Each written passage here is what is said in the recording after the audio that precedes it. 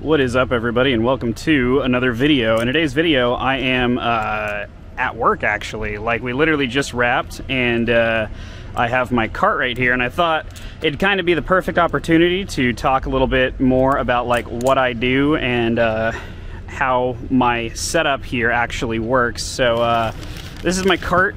Um, this is the breakdown process of that. This is what I have to do at the end of basically every gig uh, is throw all my stuff back into the car. So you can see I have my bag here, my battery bag, and then I have a little strap here that I just kind of hold everything down with.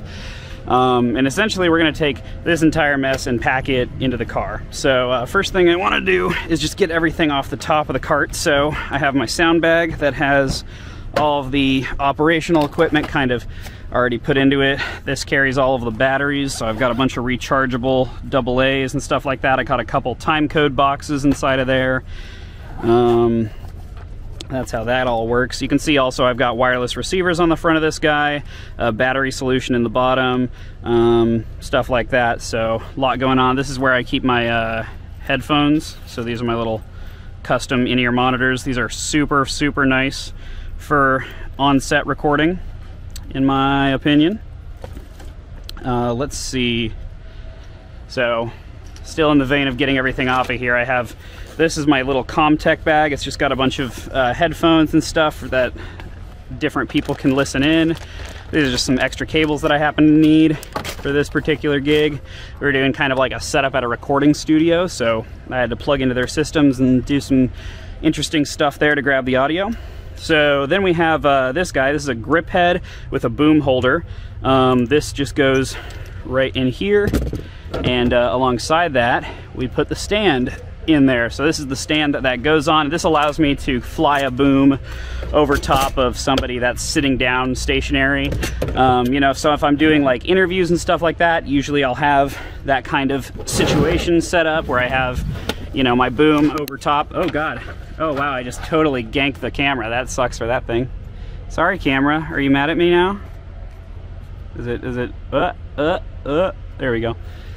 That's what I get for getting, uh, getting cocky. Anyways, um, yeah, so, you know, if I'm doing a situation where I've got somebody that's like just sitting, uh, then I can fly the boom and not have to worry too much about that. I got plenty of masks in my car, all of them uh, orange, of course.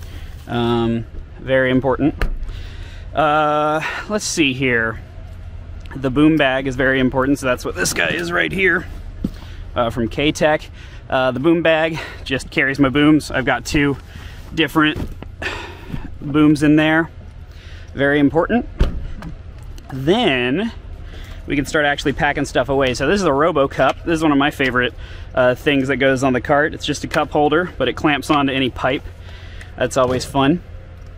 And then we got my rental from Trew Audio. Trew Audio is a local Atlanta audio rental place. Highly suggest them.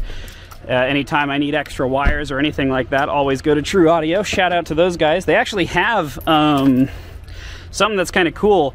Uh, they actually have one of my shirts displayed in Trew Audio. Like they, they had me give them one of the, uh, the Pride shirt and they put it up for display, which is just the sweetest gesture. So thank you uh, so much to the guys at Trew Audio. You guys are the best. I'm about to go bring that back to them. I actually was going to do an after hours return of this rental, but uh, I just so happened to be wrapping in time to go do it a during hours return, which is much better because then I get to see all the people at Trew Audio and enjoy them.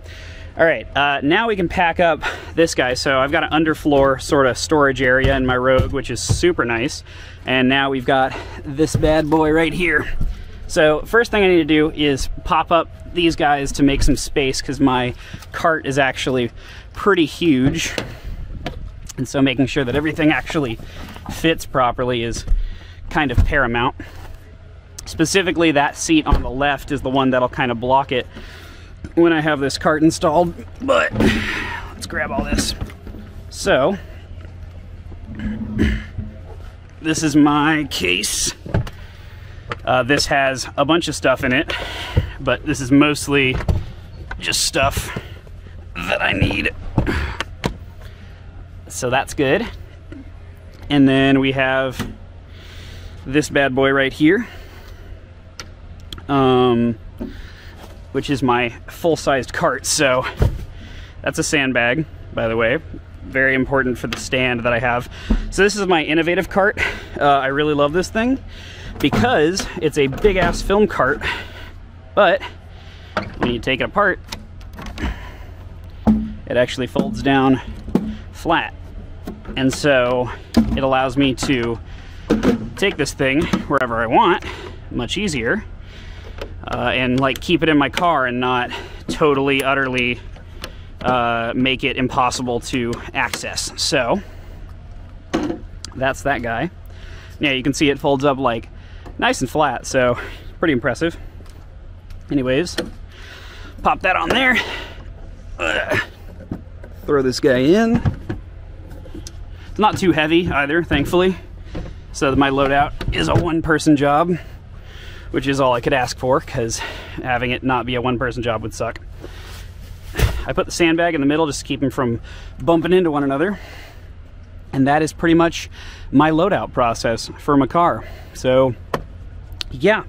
Um, you know, doing this kind of work is definitely a lot of fun and it's it's definitely my preferred thing. I just enjoy sound and audio in general and so uh, you know, I think it's kind of neat that I get to share a bit of that excitement with you all alongside of the Balisong stuff. But yeah, I just had a three day long gig and that was a lot of fun and I thought maybe I'd show you a bit of the teardown process. So yeah, that's pretty much it for now. Thanks for watching. See you later. Peace.